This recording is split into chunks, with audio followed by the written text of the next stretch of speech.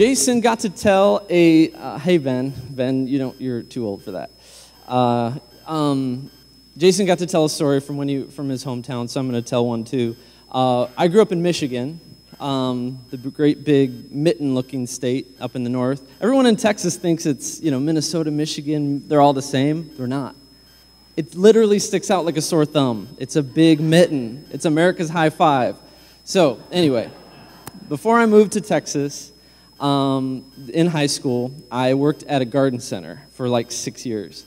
So I did a lot of, you may not know this about me, but I know a lot about begonias and petunias and, and all that stuff. I, really, what I did was I helped uh, people load their, uh, their, their mulch and their lava rocks and everything into their cars and stuff. And so I was working there, and uh, it was uh, hot summer's day, and there was this woman who needed help loading her, her, mulch, and so loaded it all up for her. And she said, You know what? Uh, do you do side work? Could you come to my house and help me with, you know, put this in? And I said, Yeah, sure. I actually needed National Honor Society hours, so I'll come and do some community service. It ended up that, that she really roped me into this huge yard project, and she wasn't paying me because it was all service hours. And she, I mean, the stories she told, I mean, she was a, kind of a racist. I'll just say. I mean, she was just saying some things that I was like, I don't really enjoy this, you know, situation. I need to get out of it. I don't know how to get out of it. And so finally, after about 20 hours of working for her, I said, uh, I can't work for you anymore because uh, my, my grandma is taking me to France. and she was like, Really? You're going to France? I was like, Yeah.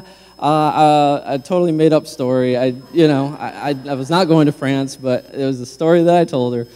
And she said, You're going to France? That's exciting. And so, anyway, it, it kind of cut that off. I, I wasn't able to help her anymore with her lawn project. I'm not saying to lie, don't ever lie. But in high school, I, I didn't know any other way out. And so, from then on, every. So, anyway, I, once I was done with that, the last time I worked for her, she gave me this $75 Kohl's gift card for her, my work. And I was like, oh gosh, like now I feel really guilty that I lied to her. And so I went to, you know, the garden center and bought her some flowers. Anyways, all that to say, every single time I worked at that garden center, I was hiding. Like every time I saw like anything that might look like her, I'd run to the back or just the rest of my time there was spent hiding and and just hoping I didn't see her or she didn't see me. And actually, kind of another side story is that my dad, he's a mason, and he was doing a job for somebody, and he heard this story that I told her I was moving to France. And so, to get out of a job he was doing, he told that lady that he was moving to France. I don't know, it's kind of become a joke in our family, but the point is, when you work for, you know, in a small town, you get to know people, right? You get to see the same faces and you get, you know, real comfortable in that. Um, that can be a good thing and a bad thing, right? I mean, it's nice to go to the, the HEB and see people you know um, or people that you want trying to avoid and hop an aisle away.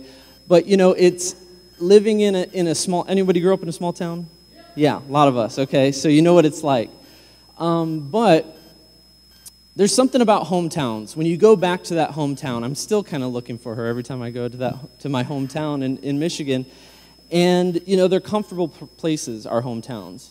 Uh, I want you guys to open up today to Luke 4, where Jesus talks about hometowns, okay, where he talks about what it's like to live in, in, in a hometown. You're there, Doug? Okay, good. Luke 4, this is Jesus talking about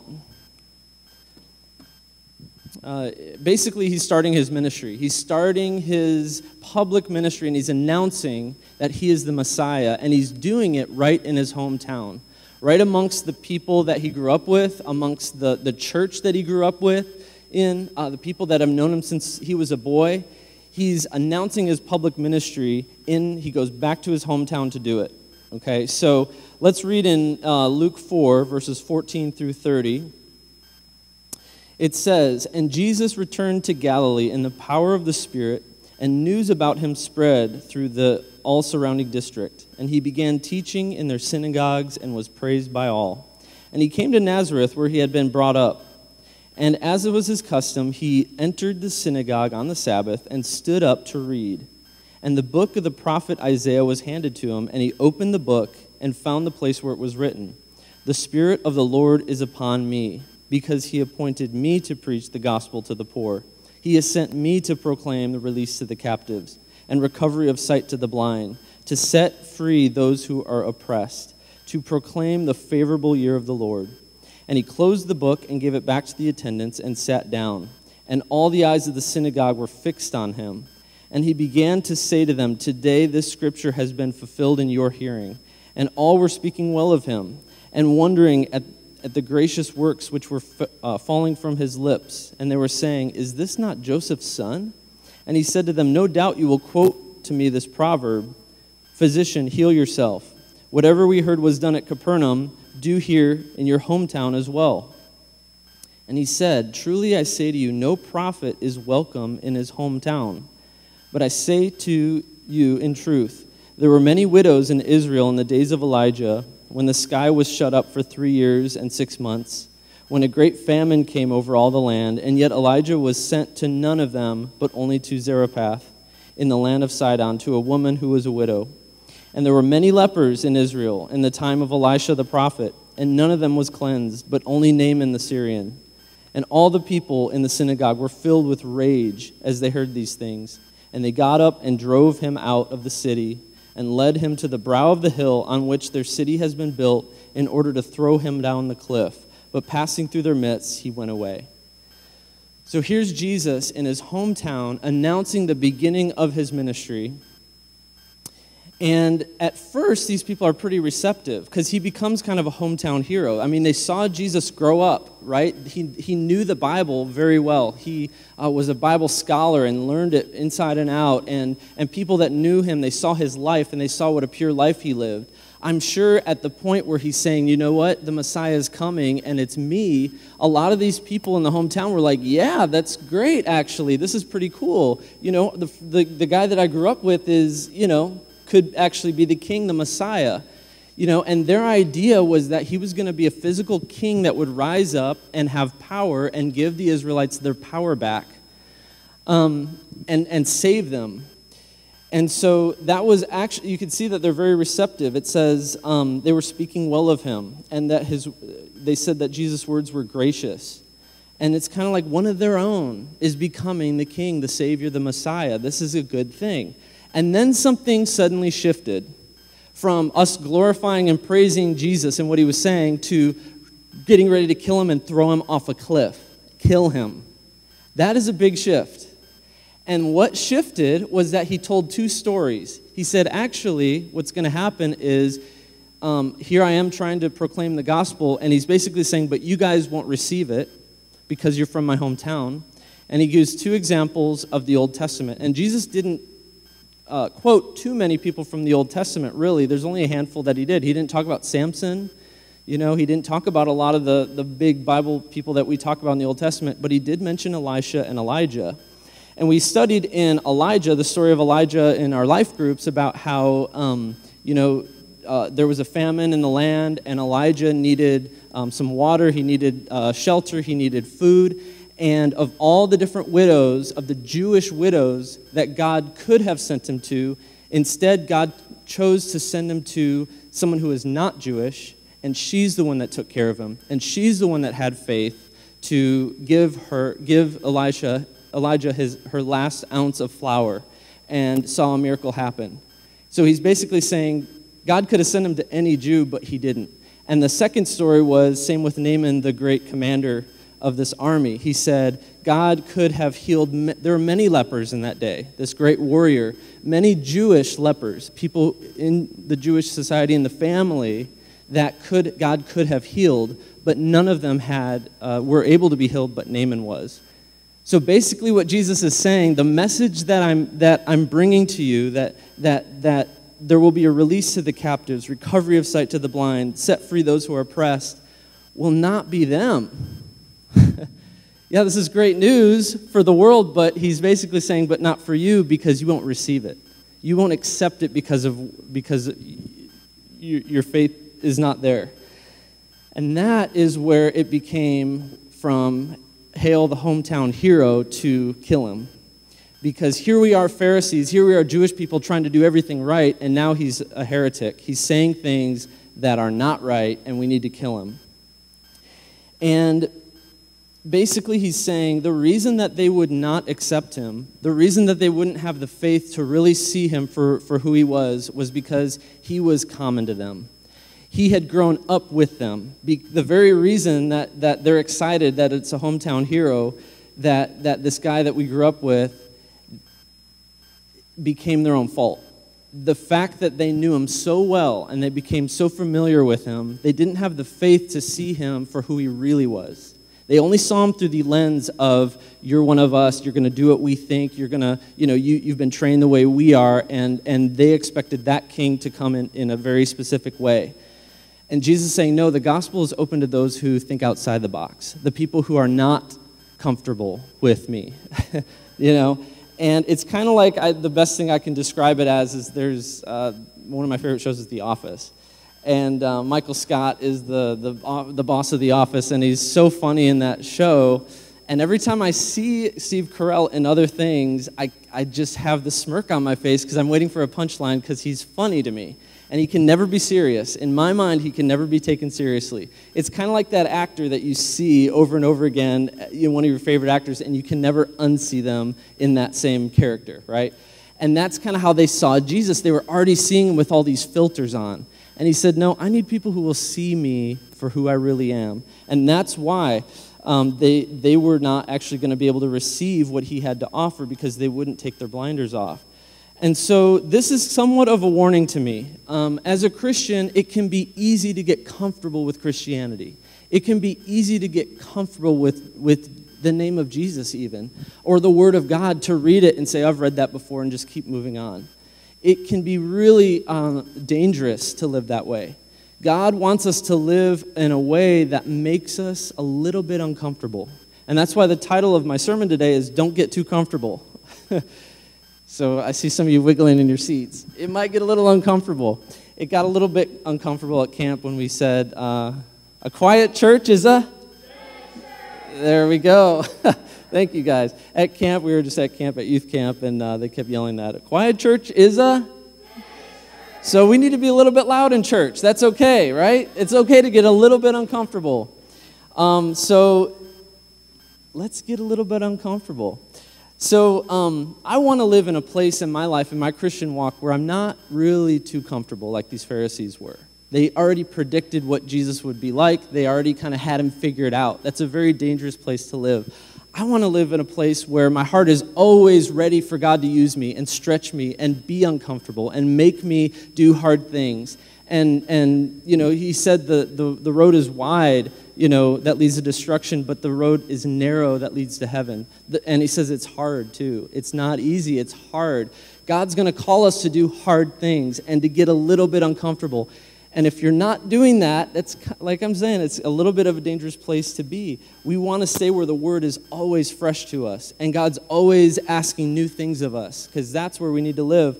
Um, and so I want to take a look at one of these stories that Jesus mentions here. And he's saying the very reason that you won't accept me is look at these two stories. He said, first, the story of Elijah, which we studied in our life group. So I thought I'd look at the other story of Elisha and uh, the story of Naaman. So if you'll open up to 2 Kings 5 1 through 8, actually 5 1 through 9, make you open your Bibles again to 2 Kings. We're going to look at the story of Naaman, and we're going to try to see what Jesus saw in him and, and why Naaman got this healing, whereas all the other lepers in the land would not get a healing, but, but Naaman did. What is it about him? And what is about his character? How did he live his life? So that he was ready and willing to hear and get healed. Um, so Naaman was a captain of the king of the Aram, uh, king of Aram. So I'm going to start reading uh, just verses one through one through eight. And we're going to kind of go through this little by little. Uh, Naaman, captain of the army of the king Aram, was a great man with his master and highly respected, because by him the Lord had given victory to Aram, or Aram. The man was also a valiant warrior, but he was a leper. Now the Arameans had gone out in bands and had taken captive a little girl from the land of Israel, and she waited on Naaman's wife. She said to her mistress, I wish that my master uh, were with the prophet who is in Samaria, who is Elisha. Then he would cure him of his leprosy. Naaman went in and told his master, saying, Thus and thus spoke the girl who is from the land of Israel. Then the king of Aram said, Go now, and I will send a letter to the king of Israel. He departed and took with him ten talents of silver, and ten thousand shekels of gold, and ten changes of clothes. He brought the letter to the king of Israel, saying, And now as this letter comes to you, behold, I have sent Naaman my servant to you, that you may cure him of his leprosy. When the king of Israel read the letter, he tore his clothes and said, Am I God to kill and make alive that this man is sending word to me to cure a man of his leprosy? But consider now and see how he is seeking a quarrel against me. It happened when Elisha, the man of God, heard that the king of Israel had torn his clothes, that he sent word to the king, saying, Why have you torn your clothes? Now let him come to me, and he shall know that there is a prophet in Israel. Okay, so this is the first part of the story. It's the setup. It's that here's this great commander who, from a slave girl who, who, who they conquered, uh, you know, one of the wars in, in Israel, they, they got a slave girl from Israel, and and she saw that, that this commander had leprosy, and she spoke out. She probably got a little bit uncomfortable, stepped out, and, and told him, Hey, there's a man that's a prophet of the Lord that can heal you. And the first thing that we see in this kind of a theme within these first few verses is humility. And though Naaman was a mighty warrior, though he had many accolades, he also had a drop of humility enough humility that God could work with it so that God could actually heal him. And so, even though it's not, not a lot of humility, I think we see some in him. God had given him victories. God had given this man great pride, actually. And I'm not saying it's a bad thing to have pride in your work, but he had a great flaw as well. He had leprosy. And I believe that flaw really kind of kept him grounded. And a lot of times we say, Lord, take this thing from me, take this, you know, this battle that I have from me, but really that's one thing that keeps you close to God. You ever notice that? God may use your weaknesses to keep him close to you. And that I think is part of what was happening here was that he had this great flaw. And there was some confusion in the word leprosy back in the day. Um, leprosy doesn't always exactly mean the way that we think of it today, as this, uh, it's called Hansen's disease but uh, it could mean boils, it could mean um, eczema, um, uh, uh, fungal infections. There's a lot of different, different re- ways that you could look at this word of leprosy, but the fact is, it was a great source of shame for the guy. And you can imagine, as a great commander, you look great with your armor on, but as soon as you take it off, you see the, the, the darkness inside. And I think that's what we do a lot of times, right? We prostrate ourselves to be kind of big and, and, and conquering, and, and you know, we, we do what we can to make ourselves look great. But on the inside, you might have a lot of darkness in you, right? That can happen. And so, like Paul said too, he had a thorn in his side. A lot of times in his writing, he said the same thing. Like there, there are sometimes sins that can, that maybe things that you didn't, you know, make happen yourself, but things that, you know, like leprosy, that, you know, he didn't, he didn't do anything to get it necessarily, but now he, bas- he has it, and that kind of keeps him humble in a lot of ways. So, what Jesus was saying in this story, the reason he brought this up was because there were many lepers, many people who had leprosy, but he was the only one, at least, who was willing to, to hear what other people had to say. And, and he picked him out because the gospel was for the marginalized, it was for the lepers, it was for the people who were hurt, the people who had the brokenness in them, not the Pharisees who had their whole lives perfectly together. The gospel is for the hurting and the lost and the broken, and not the people of the hometown necessarily. And that's why he chose Naaman to mention specifically. And that was totally the opposite of, of what the Pharisees were expecting. Jesus said, It's not the healthy who need a doctor, but the sick. I have not come to call the righteous, but the unrighteous. And so the Pharisees didn't have humility at all in them. They knew Jesus inside and out. They knew what they were looking for, and they already had their goggles on. And at least Naaman was, was broken to the point where he knew that he had a flaw, in touch with the flawed person that he is. I was reading N.T. Wright, a great theologian, and he said this He said, The people who will benefit from the gospel are the outsiders, the wrong people, the foreigners. Even perhaps the commander of the enemy army, Naaman the Syrian, to whom Jesus refers as the one man who was healed by the prophet Elisha, the commander of the army that in the Old Testament had been attacking the Israelites. Startling though this is, it fits with everything else we know about Jesus' public teaching. Love your enemies, he told his followers, and he elaborated on the point from a dozen different angles. Forgiveness was at the heart of the message, not perfection, not trying to get everything right like the Pharisees were. It's all about forgiveness and mercy and humility.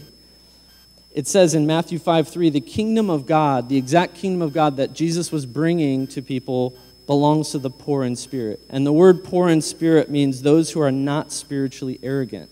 The kingdom of God belongs to the people who are not arrogant, but are humble enough to receive what God wants to give them. Pride has no place in the kingdom. And um, I easily fall into this. I mean, we all do, right, in our daily walk. Um, we can predict our own lives, we can control things that are happening in our lives. Um, just a couple weeks ago, I was in Japan on a study abroad trip with Texas State. I teach at Texas State as well. And we were with 13 students, and um, part of my job up there was to lead the students, but also um, work on our website. We had a website that we were updating. Well, come to like day two of the trip in Japan, and um, I had uh, got a little bit wet in my backpack, and I opened it up that night, and I saw the power go from it was plugged in and it said from 36% to 35% to 34%. By the morning, it was cold, dead, totally gone. And I was like, what? It's a brand new laptop, too, and I needed it for this trip. And so the first thing I did was freak out, right? It's like, okay, well, this something has to be wrong. I got like five different power converters and trying to get it powered, and nothing is working. So I take it to a, an Apple store, well, not an Apple store, like an Apple dealer in Japan and the language barrier is real, real rough. And so I, he's not understanding what I'm saying. He's not, I'm not understanding what he's saying. And I was like, just, I was like, broken. It's broken. And I like knocked on it, and I was like, it's dead, like dead. And so whatever I could do, and he's like, okay. Uh, so he looked at it, and we had to talk through a translator on the phone. And anyway, what he told me through the translator on the phone was, it's dead, beyond dead. I already knew that but I heard it from a professional. Uh, he said, if uh, the logic board, so, so what makes the computer even work is, is the motherboard, and for Macs, it's a logic board. Now, this version of the laptop, the hard drive was connected to the logic board. So if the logic board goes bad, all of your data is gone. That was hard to hear. And he's like, Do you want us to fix it? There's a chance you'll lose everything. And I was like, no, I'll take it back to America and get it figured out there. I don't know. I just wanted a second opinion. So I considered it a loss. I was so upset. I was already planning what, you know, all the data that was on this thing. Uh, what am I going to do? Um, I had work on there that I needed. Um, I was able to borrow laptops until I got back to the States. And then just uh, last week, when I, uh, you know, was about to make my appointment here in the States, I just plugged it in, and I prayed over it. And I put my hand on it and I just said, Lord, I just prayed. I just prayed to God. And what He revealed to me was that I went everywhere else to get this thing fixed, but I did not go to Him. And I was like, Lord, I'm sorry. And I repented of that right then and there. And not just in this situation, but in all my life. God, I want to go to you for first for everything. And then I felt okay, and I was like, all right, Lord, if you want me to go to the Genius Bar appointment, I will do that, but I'm just asking, would you please fix it? And I opened it up, and the little Apple logo was on, and it works to this day. and God, you know, if, if, he would, if it wouldn't have worked, praise God anyway. But He did because I asked. But I caught myself being a Pharisee here in that, well, God won't fix technology you know? He built the people that made the technology, but, you know, it's just like you can justify anything and just be like, well, God wouldn't fix a computer. Yes, He would. He would easily fix a computer. Um, and, and, but in my mind, I already had God figured out. I had the control of the situation. But what God wanted was the humility to say, listen, you made this thing, you know how to fix it, and that's what God desires from us. A perfect example of humility in the kingdom is the slave girl the slave girl who was abducted from her family in the story. She had to serve these people that abducted her, and yet she still chose to bring the word of the God to, to Naaman and says, You know what? I know someone who can, who can fix you. Really, the story should be about the slave girl, to be honest. And she that scripture that says, Let him who boasts boast in the Lord, that's what she was doing. This is not prideful of, I, I can fix your problem, Naaman. No. This was a humble pride of boasting in the Lord, saying, No, there's someone else who can fix this. And if Naaman could have healed himself, he would have. If you could fix your own problems, you probably would have by now, right? We can't fix all our problems. The fact is, we all, in a way, have leprosy. We need Jesus to fix them. And he needs people that will say, I'm desperate, Lord, I'll do anything. And to be in a position where we don't have it figured out, but, but opening that door for him to do something. And I think of it not just in healings or fixing laptops, but things like when we read the word. When we open it and we really sit and say, God, show me, pretend like I've never seen this before. Show me exactly what you want to say, even if I'm reading, you know, a line per minute. Meditate slowly and reread it because God wants to show you new things and He doesn't want you to skim over it, you know, or just like putting your life on the line every, every morning and saying, God, this day is yours. What do you want to do with it? You know, He wants that. That's where the kingdom lives. And that's what the Pharisees got wrong and not what I, I don't want to get that wrong. So that's one thing Naaman had. He was not, I wouldn't say a humble man, but I would say that he had a, a drip of humility that God could use. Even if it's a seed of humility, God will use it. So let's keep reading in 2 Kings uh, verses 9 through 14. So Naaman came with his horses and his chariots and stood at the doorway of the house of Elisha. Elisha sent a messenger to him, saying, Go and wash in the Jordan seven times, and your flesh will be restored to you, and you will be clean. But Naaman was furious and went away and said, Behold, I thought he will surely come out to me and stand and call on the name of the Lord his God and wave his hand over the place and cure the leper. Are not Abana and Pharpar, the rivers of Damascus, better than all the waters of Israel? Could I not wash in them and be clean? So he turned and went away in a rage. Then his servants came near and spoke to him and said, My father, had the prophets told you to do some great thing, would you have not done it? How much more then when he says to you, Wash and be clean? So he went down and dipped himself seven times in the Jordan, according to the word of the man of God, and his flesh was restored like the flesh of a little child, and he was clean. This we see reluctantly obedience. We saw Naaman immediately first, because of pride, say, No, I'm not going to do all that stuff that you said, but eventually he obeyed. We see a, a reluctant obedience, but obedience nonetheless. He humbled himself enough to go to Elisha, but then when he got to Elisha and got his answer, he didn't like the answer. And there's two reasons that he didn't like the answer. One is because he thought he, he kind of had it figured out, right? He already had it played out exactly how he thought it should be. He thought this, this you know, prophet will come and wave his hand over, and there'll be this big, big, huge thing, and, and, and I'll be cleaned. And, and he just had this preconceived notion. It didn't turn out that way. So his, his pride got in the way again, but also his mind, he overthought it too. He was thinking, well, surely I don't need to go into the Jordan River and get clean. It's not that clean. There are plenty of other ways that I can go about this, right? So it was both his pride and his brain that got in the way. And oftentimes when God tells us to do something, we overthink it. We think, well, that couldn't be, right? Um, you know, that's absurd, God. Why would you ask me to do that? That doesn't make sense. That's not the point. the point is, obey God. If God said it, do it. He didn't realize that the Jordan River was the same river that years later Jesus Christ would be baptized in. He didn't realize that, that the Jordan River was the river that God used to water his holy land. Though it may have looked a little bit dirtier than the clean rivers of Damascus, there's a reason behind why God wanted you to do that that you can't see. And we can't always see the reasons behind what God has said.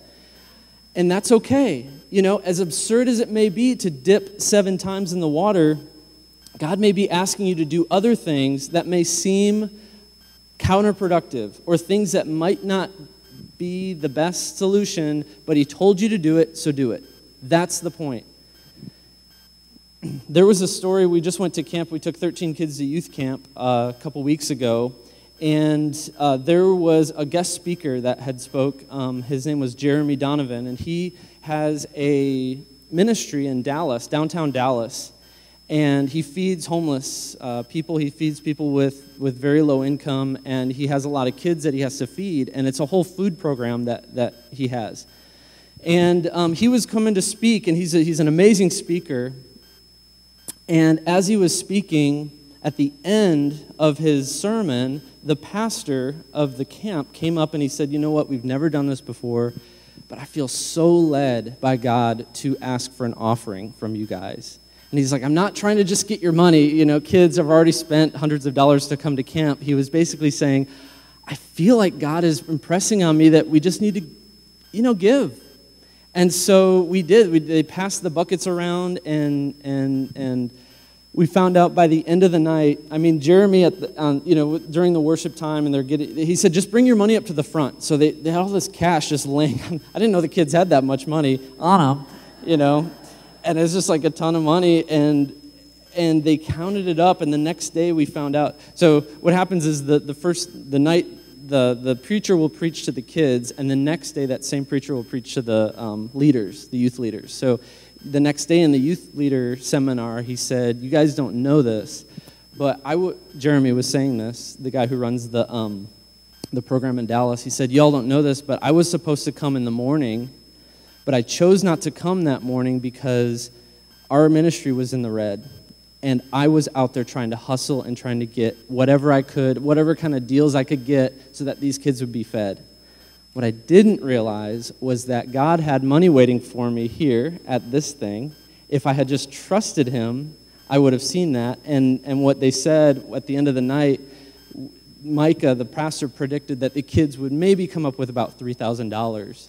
But what ended up happening was the kids raised $10,000 for this guy's ministry. And that's enough money to feed those kids for a year.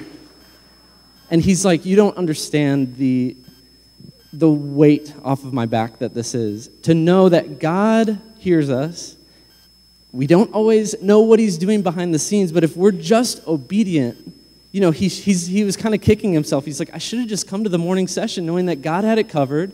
But he's like, no, instead, I skipped out on it and I tried to hustle and tried to get money. And he's like, that was totally fruitless. But little did he know, God had $10,000 waiting for him. And now there's obedience involved with, with Jeremy, you know, like just trusting God to, to go there and, and to receive it. But there's also obedience on behalf of that pastor to, to, to hear what God's saying and say, We've never done this before. Let's do something uncomfortable. Let's do something that'll get us out of our routine, right? The obedience of God will all, often call us out of our seats and call us into do something that will stretch us. Always. But it's always for His glory, for His good, for our good, uh, to build up our faith so that we look more like Jesus. And the Pharisees had a form of obedience, but it was called religion.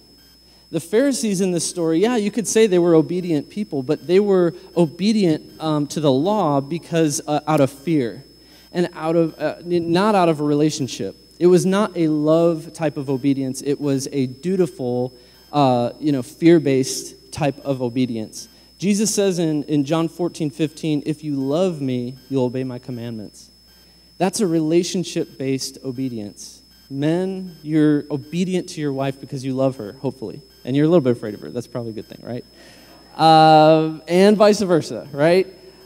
You, you obey when, when a, a loved one asks you to do something because you love them, right? It's not based out of fear, it's based out of love. And I find it interesting in this story that Naaman, his first reaction was no. I don't want to do this. Like, God, you know, He's asking me to dip myself seven times in the river. He had an answer, but he said no. But it took a person to walk alongside of him, one of his servants, to walk alongside of him and explain to him, hey, think about it again. It was love, it was obedience in relationship. He had to receive the word of God through a person, through a relationship. And when he did that, he did get his healing. Not just the, so that highlights the power of walking with people through life, you know, that will point things out and, and highlight things to you, but also the kind of love that God, the kind of obedience that God asks of us is not out of hate and it's not out of, um, you know, cracking the whip because you're not doing enough. It's always out of love. It's always out of your own best interest at heart, really. Um, there was a time a few years ago when um, I was writing a sermon and I was just having a hard time with it. I wasn't, I wasn't really able to get, you know, articulate what I was trying to say, and, and, and I was kind of frustrated. Meanwhile, I heard that there was a, a kid in the youth group who was in the hospital. And uh, it was, he was, you know, uh, it was through, through something that he had done, um, some drugs that he had taken, that he was in there. And I was feeling bad for him that he was there, but his mom had texted me and she said, Hey, uh, you know, he's in, the, he's in the hospital, he's recovering, pray for him. And I said, Okay, I'll definitely pray for him. And I was like, I'll pray for him here in my, you know, you know, I don't, you know, God's here too, right? I can pray for him here. I justified it, even though I knew God was calling me to go to the hospital and pray for him there. But I justified it and said, no, I'll just pray for him here. So I prayed for him, and then I kept going with my sermon writing. Talk about a Pharisee, right? like, no, God's here in this moment, but he's not over there, you know? And so I was just kind of writing my sermon, and she texted again, hey, um, he's doing better. Keep praying. I was like, okay, I'll keep praying. So I said another little prayer. And then about half hour later, she goes, would you mind coming down here? And I was like, of course I'll come down there. I should have done that in the first place. You shouldn't have to ask your pastor to come pray for you at the hospital. I should have been there, you know? And so, anyway, I ended up driving down to the hospital, and I felt like God was in the car with me. And as I'm driving to the hospital, I get to the waiting room, and when I walk into the waiting room, it's kind of like I walked into the cloud of God. God wasn't in my room writing the sermon, He was actually waiting for me elsewhere. And the Holy Spirit wants to lead us, you know, to, to obedience. And, and had I not been obedient, God still would have, you know, I don't know, uh, worked in my life, you know. But at the same time, God wants us to be obedient to experience Him. And not only that, but I realized that my role in this situation was not just to pray for the kid, but mostly to pray for the, the grieving mother who's gone through all this stuff. We had church in that waiting room. I mean, I experienced God like almost I had never before because I had just been obedient reluctantly, reluctant obedience. But God met me there, you know, and He met me in that waiting room, and it was awesome. But the point is that God uses our obedience to get us in relationship with Him, and, and He doesn't use it to, to, to harm us or hurt us. And that's often what we think. You know, um, it's easy to argue God out of something that He's calling us to do, but when we're obedient, that's when we look most like Jesus. And that's what He's trying to do in us anyway become more like Jesus. That's what Naaman had that the Pharisees didn't have. They had a different type of obedience. Naaman had a relationship type of obedience. So we keep reading here in verses 15 through 19. When he returned to the man of God with all his company and came and stood before him, he said, Behold, now I know that there is no God in all the earth but in Israel. So please take a present from your servant now. But he said, As the Lord lives, before whom I stand, I will take nothing. And he urged him to take it, but he refused. Naaman said, If not, please let your servant at least be given two mules' load of earth. For your servant will no longer offer burnt offerings, nor will he sacrifice to other gods but to the Lord. In this matter, may the Lord pardon your servant. When my master goes to the house of Rimmon to worship there, and he leans on my hand, and I bow myself in the house of Rimmon, when I bow myself in the house of Rimmon, the Lord pardon your servant in this matter. He said to him, Elisha said to him, Go in peace. So he departed from him some distance. So basically, here's this guy, Naaman, who just got healed, and he wants to pay Elisha back with money. what can I do? Pay. Honestly, that's a natural response. When somebody does something so great for you, you want to pay them back somehow. And here Naaman has lots of money. Uh, Elisha's answer to that is just go in peace. And the money, the, I looked this up, the amount of money that, uh, that Naaman had on him was 10 talents of silver, which in today's money is $14 million. No joke. I was like, really? 14 who takes $14 million on a trip? But I guess if you know you're going to be healed, like you're ready to give everything. I mean, just shows you how much this guy had. And then the that 6,000 shekels of gold amounts to another $6 million. So he had about $20 million on him. Maybe I looked it up wrong. Somebody checked me on that, but that was what I found, and that's crazy. So here's a man of great wealth, and he received something that money could never buy.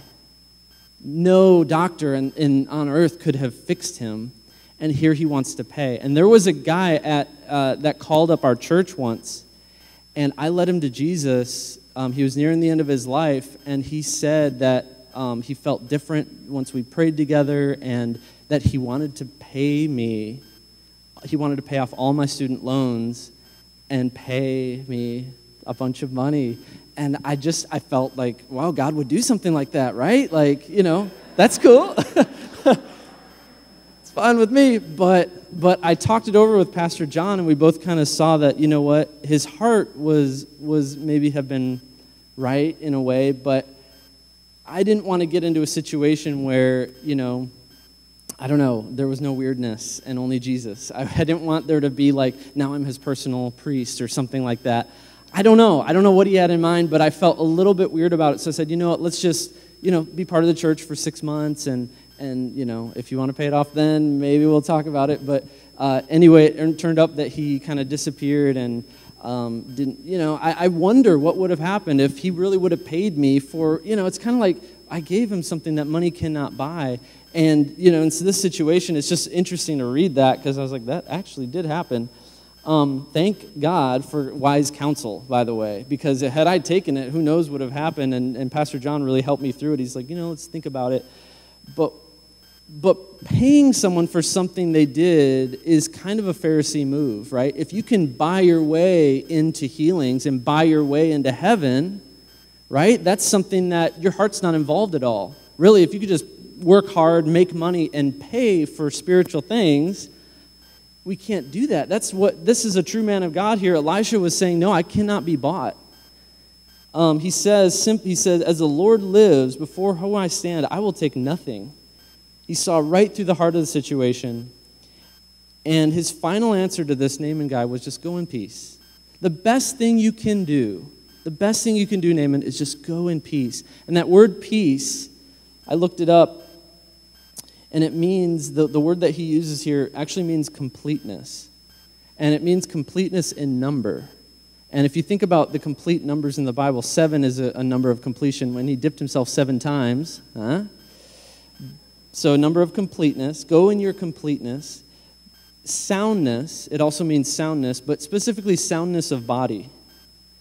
Go in your soundness of body. Go in your welfare. Go in your health. Go in your prosperity. Go walk out what God just did and tell the world about it, kind of thing. You know, it's not, don't try to pay me back with money, but honor God in what He did. And, and, and tell the world, walk out your faith. Just simply tell the world. Go in peace, go in your wholeness. And um, this is what normal Christianity is. Um, normal Christianity is not sitting in a pew, staying quiet, and knowing the commandments. Maybe like the Pharisees were trying to do get everything right.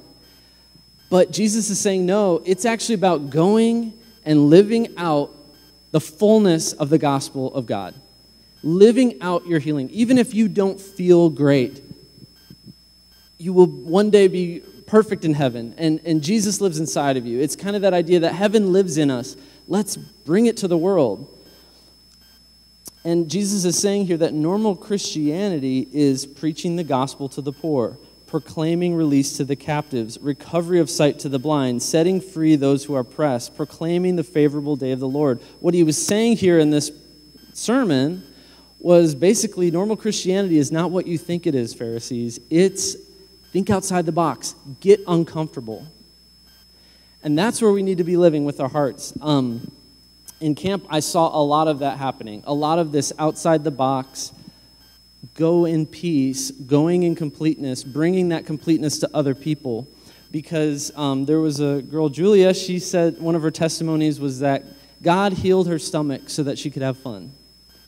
Okay? That's a great testimony. That's one thing God did. God brought healing to her stomach. Daniel, I remember I was we were worshiping together and he, he said that his back was hurting.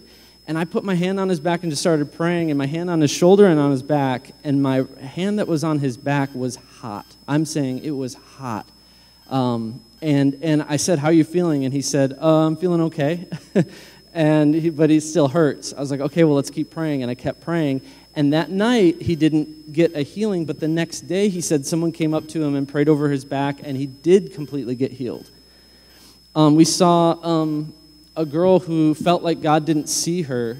A guy gave a prophetic word during a service like this and said, You know, is Chloe in the room? And she stood out, and, and the word for her was, God sees you. And there was a girl, Madison, she had a vision of, of her uncle in heaven. And it's just all these things of, that, are, that are supernatural, that are, that are really what God wants to show us in bringing heaven to earth. And I believe that's what he was trying to say to Naaman was like, don't try to do everything right and don't try to pay back what you could never repay, but live out your testimony and step out in faith. And if God tells you to do something, do it. And, and bring heaven to that other person. Like uh, this morning, I was just worshiping right here, and Curtis came up to me and just started praying heaven over me. And afterwards, he said, You know, I was kind of nervous. I, I didn't ask him permission to say this. I hope that's okay. Uh, he's gone now.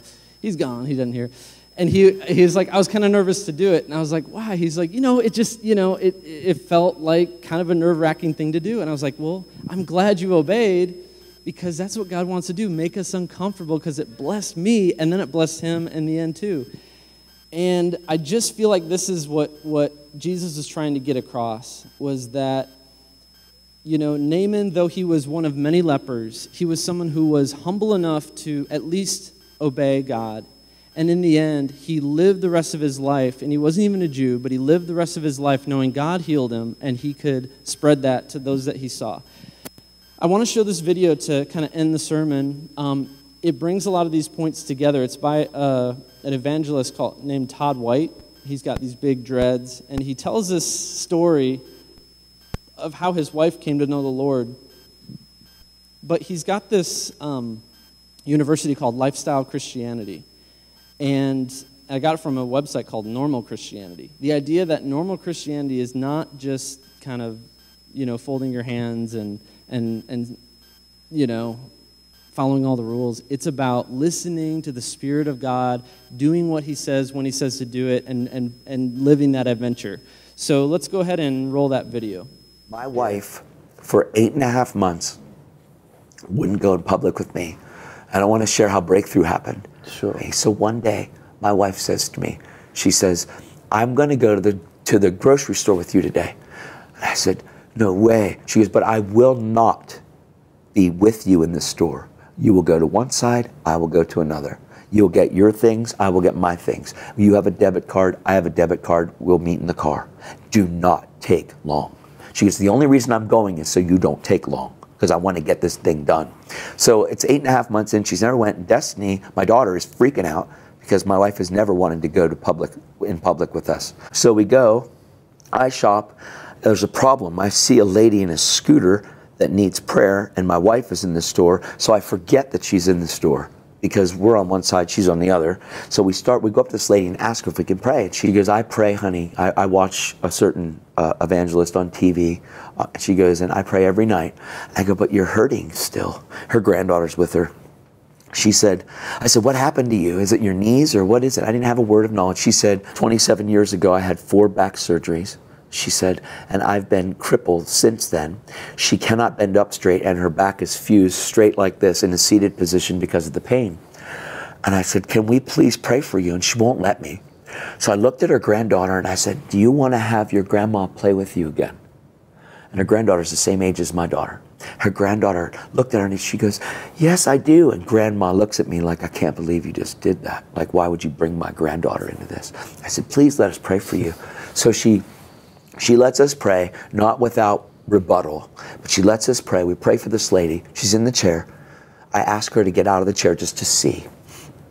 And so she says, "Honey, I'm in severe pain. My granddaughter had to drive the scooter to the car to get me to get me into the car to get me into the store, or to get me into the scooter to get me into the store." I go, "Please." She goes, "Grandma, please check your back."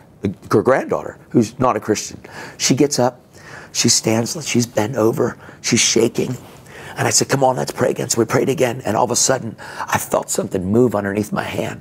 And this lady that's been fused for 27 years, she stands up and she starts moving around. Her granddaughter's like, oh, Grandma! And grandma's like, she's crying. She's like, I don't know what's going on. And the granddaughter looks at grandma. She goes, Grandma, run! And so grandma goes, Run, I can hardly walk. She goes, Come on. And she grabs her grandma's hand and they run to the end of the aisle. And my daughter and I are there, and I'm crying my eyes out because this is a miracle, dude. It's what God does because wow. He's a miracle working God. She comes back, and she comes back to me, and I'm like, oh my gosh, thank you, Jesus. Thank you, Jesus. This lady's crying. Yes, granddaughter's so thankful that she has her grandma because she's never, ever been able to play with her grandma because her grandma's been like that for 27 years, man. Now she ran with her grandma for the first time in her whole life, dude. That to me is everything my wife comes in the aisle and we're in the middle of the aisle and I look down and I see my wife and she's just looking at me, shaking her head. My daughter's like, a lady looks at me and she goes, What's wrong? And I said, No, nothing. That's my best friend down there. Said, Can you please go tell my wife what just happened? Her name's Jackie. So the lady goes, I absolutely will. She goes, I can walk. She stood up, walked down. My wife's so angry, man. This lady's coming down. Destiny's behind me. Dad, what's mom doing? I said, She's really mad right now. Really, really mad, honey. I said, Pray for mama. The granddaughter's looking at me like, Why is she mad? I said, It's okay. She just doesn't understand but everything's about to change. And I'm prophesying and declaring what's going to happen. And this, this woman's coming down talking to my wife. My wife looking at me like, I can't believe you're telling her to talk to me. And I know what she's thinking. Then she talks to her, and all of a sudden, my wife looks at her, looks at me, she bursts into tears, holds this lady. They're crying, and I'm like, Destiny, mom's crying. She goes, Why is she crying? I said, Because she's hugging the lady right wow. now. She's hugging her. And my daughter's like, Oh my gosh, Dad, this is amazing. The grandma comes up. She comes up. My wife won't talk to me. She's She's sobbing. She is a weeping, sobbing mess. I'm sobbing. I hug this lady. The granddaughter drives the scooter out. We get home, I unpack the groceries. I, she doesn't say a word to me, and I don't say anything because I don't want to mess this up, man. Because God's doing it. He's the one. He's doing it. I go back to the bedroom. I'm crying on my bed for probably an hour and a half, just sobbing. I come out. My wife is on the couch, still crying. I asked what happened, and she said, God spoke to me. I said, What did He say? Because He's never spoken to my wife. She said, He told me that you just believe Him, that it really hasn't been you. It's been Him in you that's been doing these things, she said, and who am I to stand in the way of God? So we held each other, and the persecution was ended at that moment. But it was eight and a half months of hell like for her because she didn't understand. And if you would just break through and if you would just believe the gospel and press in and not be concerned about other people around you, as you are concerned with your relationship with Christ. Let that be your principle and your primary concern. That's true Christianity right there. I mean, we saw the humility of a person to, to listen to God, to obey the fact that God wants to heal this, this woman right here. And then her response after getting healed was running up to his, his wife and telling of all that Jesus did. You know, we saw that, that happen, and and I want to see that too. And I think God wants to release hope in us uh, that that can happen. This is why Jesus came. This was the gospel that Jesus was trying to, to, to preach. And he was basically saying there's people here that have too hard of hearts that they won't hear it because they're from my hometown, because they believe certain things or they see me through a certain filter, they have me in a certain box. And Jesus is trying to break them out of that box. So if y'all would stand up with me. and the, the band can come on up. I do believe that God wants to release um, uncomfortability in us. I think that God's calling us to do hard things. I think that God, you know, if you follow Jesus and you stay the same, you really aren't following Jesus. right? If, if God calls us to do crazy, hard things sometimes, it may not be dipping seven times in the, in the river, but it might be even weirder. it might be unconventional. It might be going to pray for people. It might be doing something a different way than you ever have before. But I believe God wants to release hope right now to us. So if you would bow your heads, let me pray for you. Lord, I pray, God, for anybody in this room, Lord, who has lived a very comfortable Christianity, God. And I am, I am the chief of that, God. I really do believe, Lord, that it's so easy to fall into a routine um, and to see you as normal, Jesus, and to see the Bible as I've read it before, or, um, you know, just to put you in a box, Lord. So that's the first thing I want to pray for, God. Anybody who just feels like they've been putting you in a box, God, they haven't been stepping out in faith, they haven't really been on the adventure that you've called them to be on, God, because they, they, they, they just see you as these Pharisees did from their hometown. Father, I just pray that you would take away all of our preconceived notions, um, all of the religion, Lord, that we may have been uh, brought up with, God, or anything that may be hindering us from seeing you as who you really are, Jesus, as healer, as bringer of healing, God, the bringer of joy. Um, Father, I just pray, Jesus, that you would give us hope, God, that you can do anything, God, that anything you ask of us, Lord, is good and, and, and it's, it's for our good and for your glory, Jesus. So, Lord, I just pray for anybody who just feels stuck in a routine. You feel like you're a Pharisee in some ways, or you focus more on religion than the relationship. And God wants to bring freshness to you right now in the name of Jesus. Thank you, Jesus, for that freshman, uh, refreshment, Jesus. I also want to pray for anybody in here who uh, feels like they've been striving and not receiving. Um, and and that, that kind of falls in the category of pride. Um, like me with my laptop, you just try to do everything on your own, and you, you need the humility of receiving from Jesus. If that's you, just lift your hands up in a, in a position of surrender. Surrender every era of your life to Jesus in humility. And Father, I pray that you would touch every area of leprosy in this room. Every area that is dark, every area that we, we try to hang on to or fix ourselves, God, if we could have fixed it, we would have. Jesus, only you can fix us. Only you can heal us from the inside out, God. Only you can heal these situations that we're dealing with, Jesus. So we come to you humbly, Jesus, as your children, and we ask, Lord, that you would heal us, God, and that you, Lord, we need you, Jesus. We need you to do what only you can do, Jesus. So I invite you into every situation, Jesus, that we've been trying to control or we've been trying to do, God, and I declare that your healing would come into those situations, Jesus. And last, I just want to pray for people who have not been obedient um, you feel like God's called you to do something and you just haven't done it, you have that reluctant obedience, that you'll do it later, but you won't do it now. I believe that God wants to um, highlight to you right now that that obedience is for your good and it's for His glory. When you are obedient and you step out and do what God's calling you to do, you'll see the healing come out. You will see what God's trying to do. So, Father, I just pray over everybody in here who just hasn't been obedient to your word and to what you're calling them to do. Um, may you, Jesus, um, meet them there. And as they're obedient, Lord Jesus, I believe that you're going to do mighty works. Thank you, Jesus. Amen.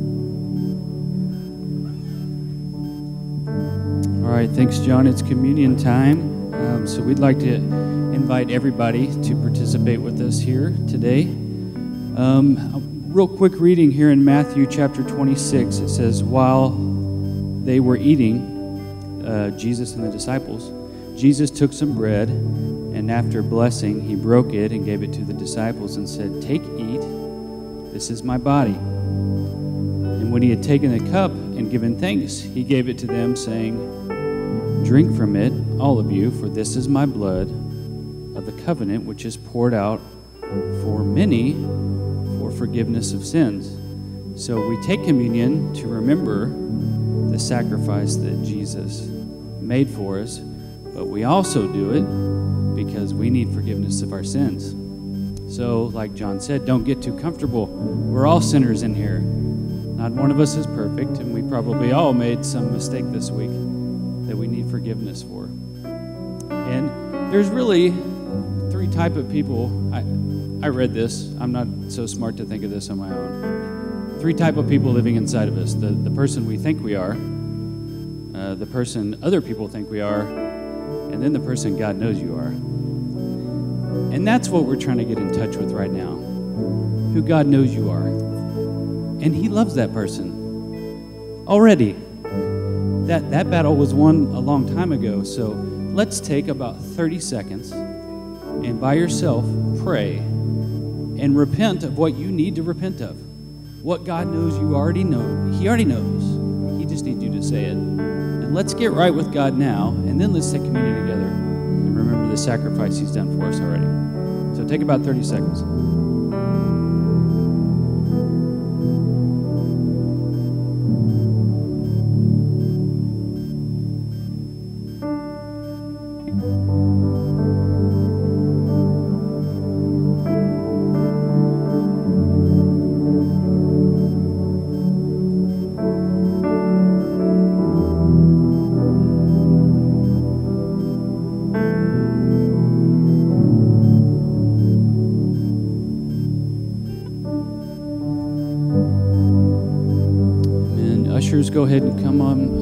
So, what we're going to do, if this is your first time here, is we're going to release each row one at a time to grab the elements and then go back to your seat, and then we'll take them and pray together.